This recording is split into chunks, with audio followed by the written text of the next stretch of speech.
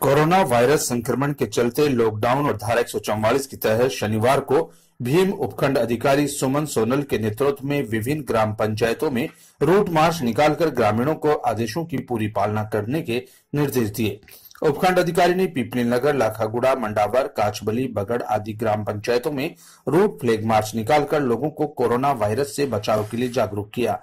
ग्रामीणों को हिदायत दी गई कि बिना किसी अनावश्यक काम के अपने घरों से बाहर ना निकले और आग्रह किया गया कि बाहर बिना काम के ना घूमे। ग्रामीणों को भी हिदायत दी गई कि बिना काम के ऐसे बाहर नहीं निकले, जिससे उन्हें खासी दिक्कत हो। थोड़ा पीछे पीछे आ जाओ आप तो निकल जाओ। हाँ आप तो निकलो। पीछे मैडम।